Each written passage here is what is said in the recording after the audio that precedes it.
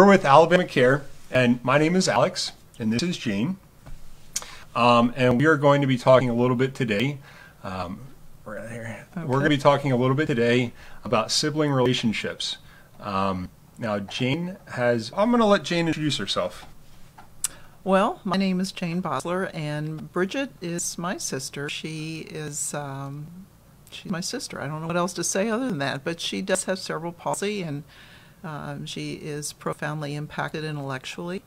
Um, a little bit, just so you know where I'm, I'm coming from. I've been in the special ed field for 37 years as a special ed teacher.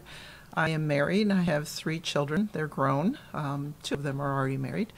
And um, I don't know. What else do you want to know about me in that aspect? Uh, so, um, Jane is my aunt, um, for people that wouldn't know that. And um, she's very active in Bridget's life all the way through, and, still to this day, very active. Um, and it's a real team effort um, to make sure that Bridget, you know, continues living a great life. And I'd like to thank Jane um, for being a huge part of that. So, um, okay, so we'll kind of dig in here. Uh, you already mentioned that you are in the special ed. So, you, are you in Alabama or? I am currently living in Georgia, and I started my career in Illinois and followed my husband with his job to Georgia. But I've been in special ed for since 1980, 82. So. And you are um, pretty soon. Uh, I heard you're retiring. I am. I know you're retiring. This is my last year, and I will be retiring at the end of this school year. Looking forward to that time. But I also know I will continue working in the field.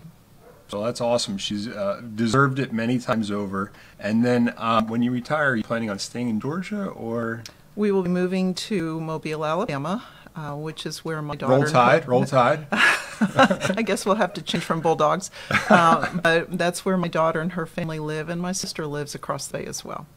Awesome. So family all the way around, uh, being close by. And you mentioned you have three kids. Um, of course, Chris is your oldest. He's my cousin. Um, he's what's like a couple years older than I am, two years older than I am. I think so. I'm 32. I think he's 34, yeah, 35. I think he's 35, but I lose track of it. Yeah, and then uh, Meg, she's my cousin as well. She's a month older than I am, so she was born in June. I was born in July. Uh, she was born in May. Was she really? She yeah. was. I thought she was like June 3rd. No. So she's got a little bit more than a month on me. Yeah. She's got like a month and a half on me then.